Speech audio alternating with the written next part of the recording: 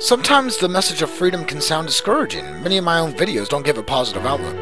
Realistic, factual, rational, yeah, but they're not necessarily a soundbite of optimism, and I'll be the first to admit it.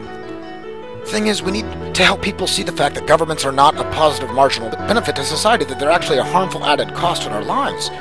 Statism is a form, a version of slavery, and people need to understand this fact. Reality isn't never never land, so it is inevitable that when I or anyone else in the freedom movement speaks on a topic, it is often our discussions won't make you feel like having a birthday party right afterwards. Not that these horrific facts aren't important, they are. But it's also important that we focus on bringing out the positive benefits of our free society, to give ethical, economical, and philosophical explanations that debunk all past myths, focusing on the importance of individualism and personal freedom, self-ownership, voluntarism, peaceful interactions, explain possible operations for resolution and protection services, explain the non-aggression principle. We need people to understand that they have worth, that they are not serfs to some collective, that they can give freely to whoever they want, but they should never be forced to do so. That we are all individuals and we all have different subjective tastes and flavors, that one size does not fit all, that every human should have the right to control their own lives.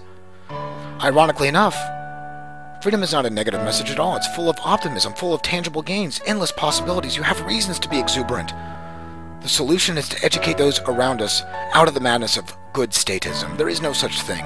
And the sooner people grasp the fact that the government is not there for them, that it is nothing but aggressive violence on peaceful people who simply disagree, that it is brainwashing, that it is threats on peaceful people, taxation is theft, that statism is murder, that it resembles thuggery and mafias because it is a mafia. The sooner people level with these facts, the sooner civilization can advance. That's the only thing holding us back, people. Our own minds. My job is to spread facts. It's not physically hampering to say these facts. Most people have no problem with their mouths operation. But it's hard to bust out of your mental shell. To stand up against a system that's beaten you down mentally for so long, in many cases for decades. The hardest part of spreading the message of freedom is facing statists who outnumber you, standing up for the non-aggression principle to groups who have never even researched the ideal in depth. It can be difficult, it can be hard, but the message of freedom is worth it because the message of freedom is positive. It is truly optimistic. And someday, voluntarists will not be outnumbered.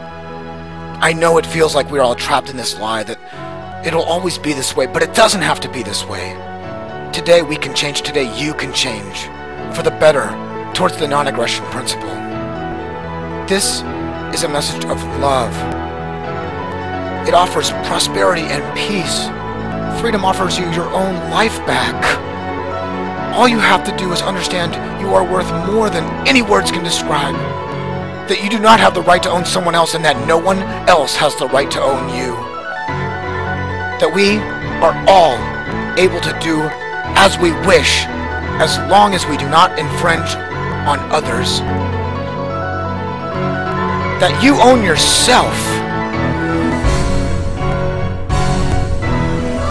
How much more positive can you get?